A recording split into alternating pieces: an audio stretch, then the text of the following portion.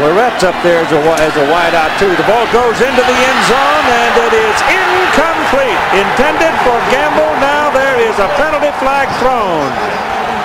Hold on. Hold the phone. Everybody comes running down on the field. You got to get off because there's a penalty flag thrown and I think it's against Miami. And if it's thrown in the end zone, the ball will be placed on the one-yard line. First and goal. Glenn Sharpe trying to cover Chris Gamble, and he may have arrived a tad too soon. Randy Crystal. Yep.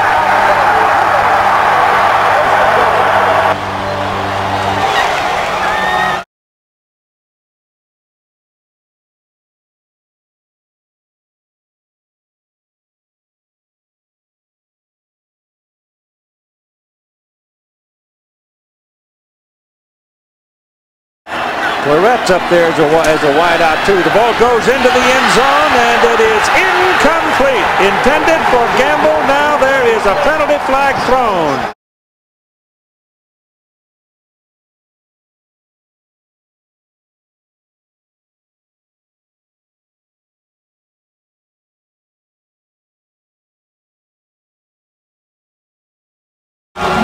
Glenn Sharpe, 31 on Chris Gamble, number seven.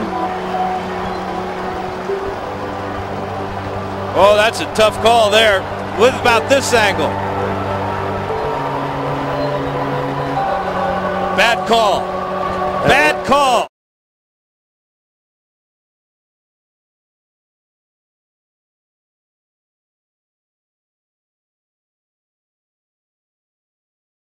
Tough call there.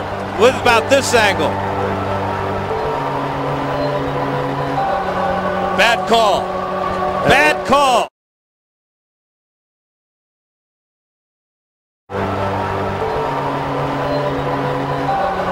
Bad call.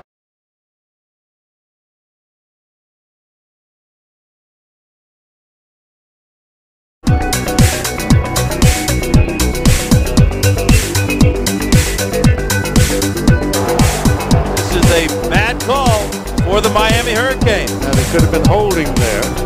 They called pass interference, Keith.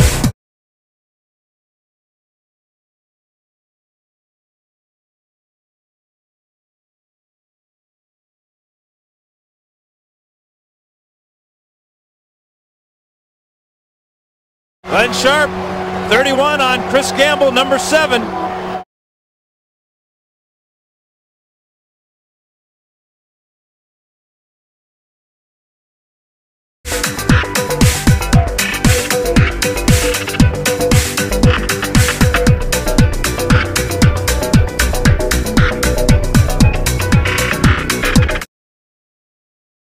Well, he waved it incomplete and then threw the flag. Boy, Gamble had a chance to make the catch before contact was made by Sharpe.